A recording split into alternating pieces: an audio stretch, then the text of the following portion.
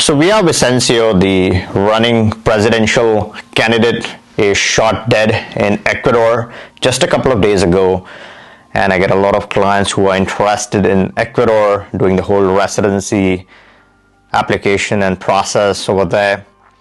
Also, I got a few comments. Some of you have directly reached out on the forum asking about the whole violence situation. The question is, with what's going on. First of all, what is going on for the large audiences, for rest of the people who don't know what's happening in Ecuador. That's the first topic I'm going to cover.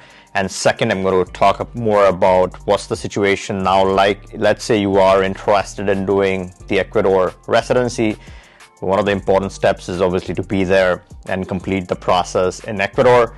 Should you be worried about the situation what should be your approach? Should you do this? Should you put it on the back burner? I'm going to cover a lot of important details. But before I deep dive into the current situation, make sure to turn on the bell notification and subscribe so you don't miss out on important developments across any of the residencies and the RCBI domain in general. First of all, why is there so much of violence in Ecuador? What's the situation? And this all started since 2016, the whole peace accord in Colombia Obviously, that was a big move for Colombia. A lot of the organized crime then started shifting in the nearby countries.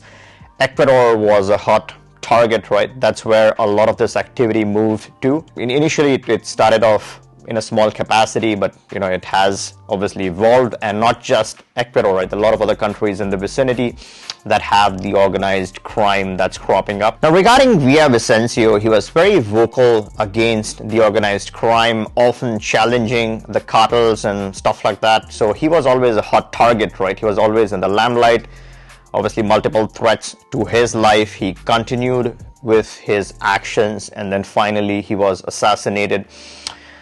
Now, how does this impact you, right? How does the whole violence situation impact you? Well, violence is sort of consistent and common across a lot of Latin American countries. It's a part of the society somewhat, right? And again, this all is variable. You have crime also in the US. You got to be smart, you got to be careful, you got to pick your, and it's needless to say this, right? Smart people get it. Pick your spots, stay at the right places don't say the things that you're not supposed to say in outside country. So as a local, yes, what he is doing is for a good cause and it's a completely separate matter but you're an outsider you know you don't belong to that country so as long as you aren't being vocal about stuff that you aren't supposed to be vocal about as long as you're being uh, under the radar low key keeping a low profile right when you're go- when you're going to any country and this is not just not just ecuador right you have this kind of stuff happening all around the world you have the Russia situation, the Ukraine situation. You have so many different places, and you know stuff goes on, violence goes on, crime goes on.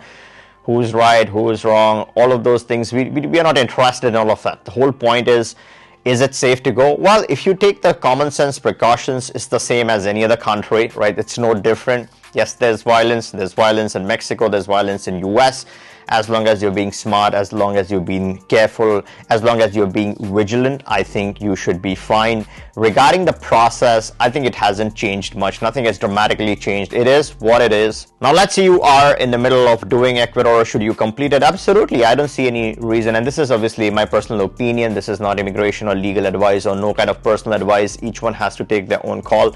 But I feel the situation hasn't changed drastically. It is what it is. And all condolences. We're deeply sorry for uh, the presidential candidate and his family. But just for outside public, the situation is what it is. There was always violence in some of those regions, so that has not changed.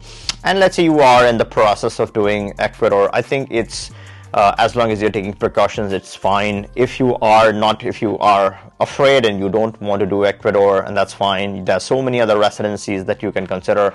My channel has tons of materials about Brazil, Argentina, Mexico, Dominican Republic. That's an interesting one and then you have several other residencies across the world. If you are interested in initiating and starting any of the residencies, you can always click the link in the description, book a call with us. We can discuss what best fits your needs and get you started immediately. If you like this video, give me a thumbs up, make sure you're subbed and catch you in the next one.